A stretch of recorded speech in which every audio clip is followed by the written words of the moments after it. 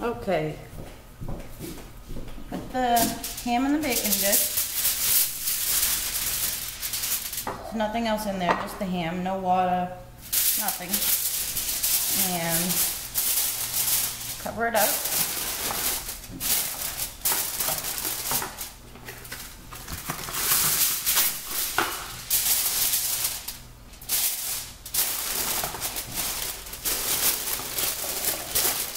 Nice and tight.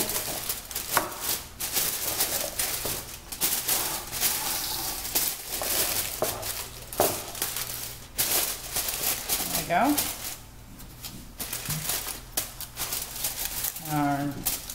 There we don't go. I'm gonna put another one over that.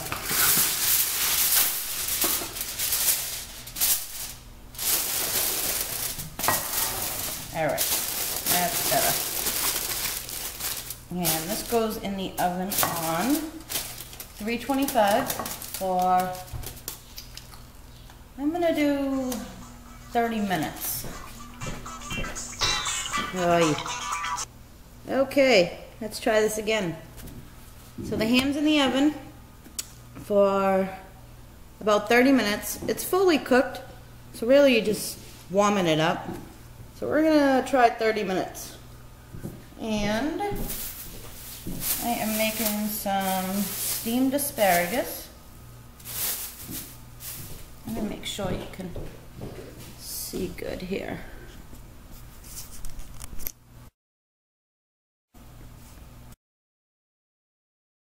I think that's good. All right. So, just gonna wash them off. First I'm gonna break them. If you take asparagus and you hold it like this, ugh, let me see if you can see. Hey, let me. This is awful, huh? I really need to get one of those cameras where I can see what's going on. Okay. So, you take asparagus and you hold it like this, and you just gently bend it. It will break in the spots that are good. These are the parts. This is the part that's not ripe, not ripened, and these are the good ones. Seems like a waste, but see how this is nice and green and this really isn't? See that? It has some like purple and it's lighter. So that's how you do that. And they will just naturally break in the right spot.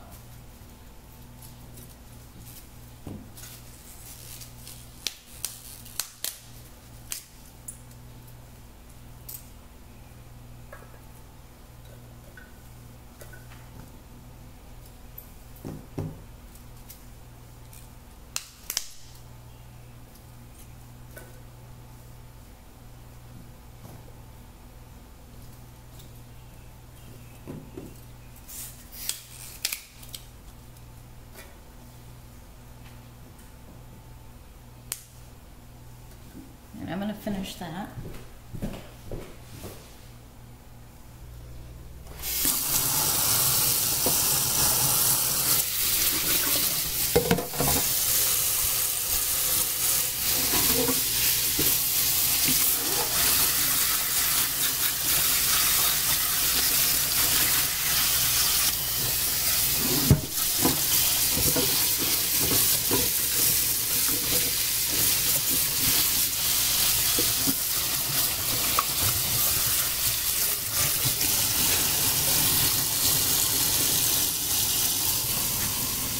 and put some water in our pot to steam them.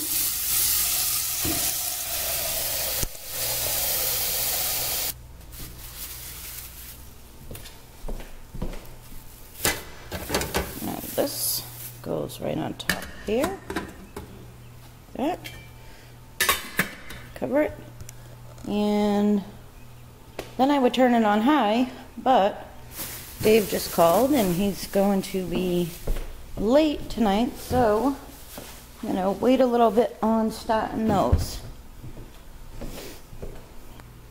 I just realized I forgot to put the pineapple on the ham. so I'm gonna do that. It's just pineapple slices.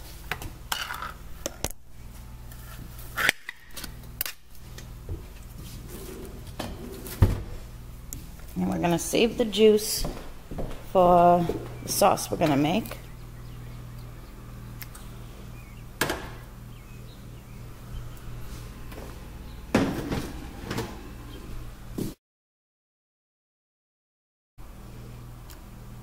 I'm just gonna put these right on top.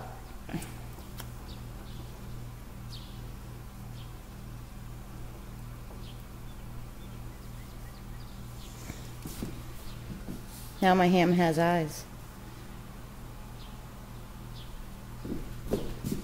All right. Oops. Oh yeah. So we'll just put on top what we can fit and just put the other ones alongside. Like that.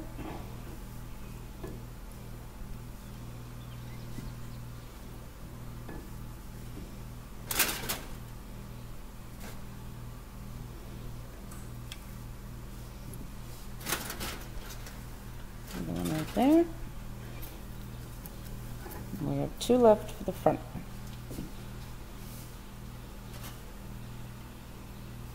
There we go. I'll wrap that back up and put it back in the oven.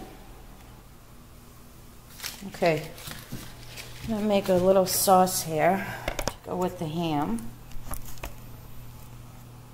I just have, let me turn this on first. Put it on low. I just have some butter. Um, I'm really not measuring. So I'm just gonna wing it. and when it looks like I have enough, then I stop. So I'll get some butter going in there. And I also have the pineapple juice, some honey, some raisins, and some brown sugar. This lemon is for the asparagus.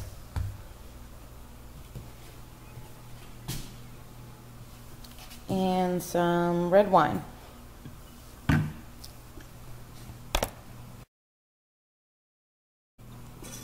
Just get the butter melted. I really need to buy some new pans.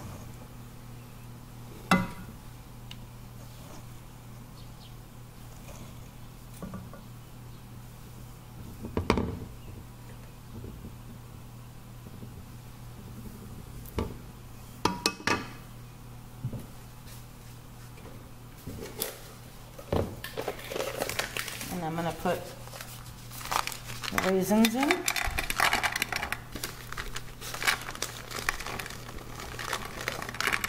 We like a lot of raisins.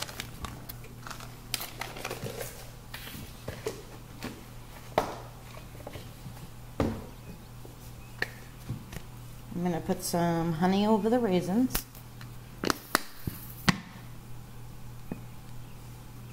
I'm gonna try to put some honey over the raisins. There we go. Some honey.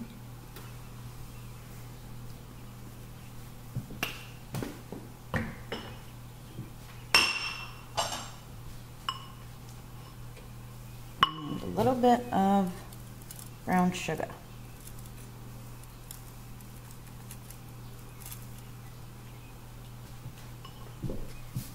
I'm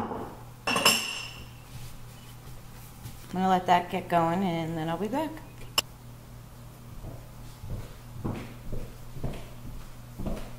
Okay, I turn the heat up to medium. My butter's almost melted. And I just mixed everything together.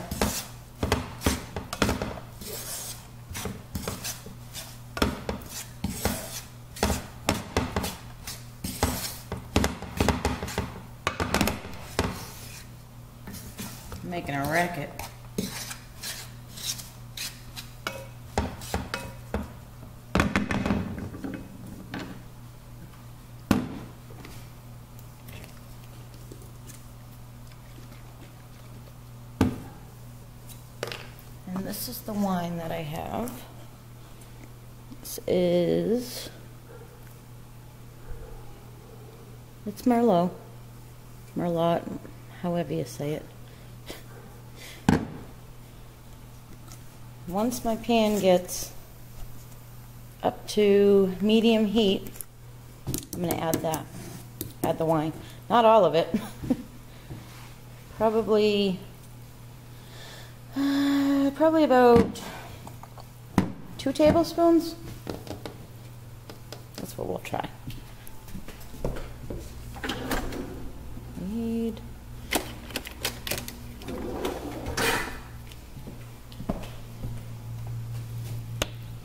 I have these measuring measuring spoons. Ah. And it's adjustable. So it goes from a teaspoon all the way up to a tablespoon. That saves you some room in your in your drawers.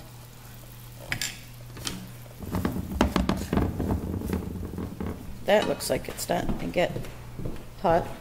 I can smell the raisins, so put you back over here.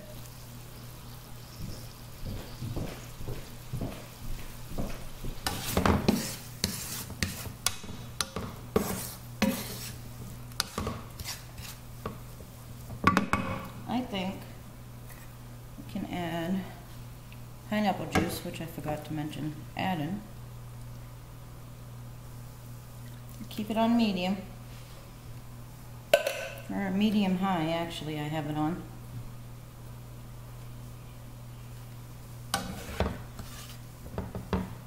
Get it boiling. I'm gonna put the pi the pineapple juice in so that the um, raisins don't burn. Well, that's why I put it in.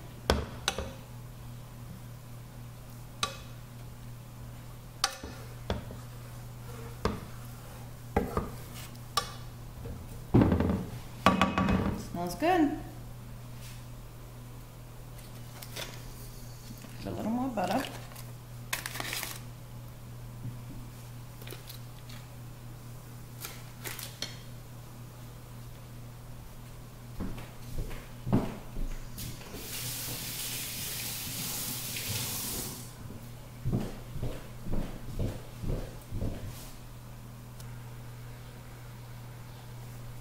It's getting there. Starting to boil. This is what I'm going to make for myself for dinner. Not big on a lot of meat, so a lot of the times I make a separate dish um, for myself. this is Mandarin orange crispy chicken. It's not real chicken. It's very good. So I'm going to make that after. Oh, there we go. Starting to boil.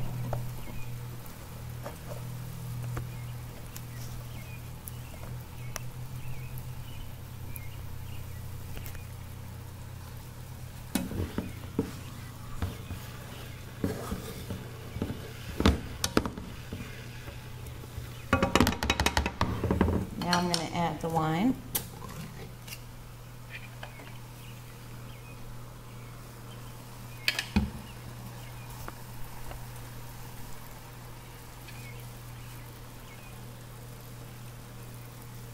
Just a tablespoon at a time.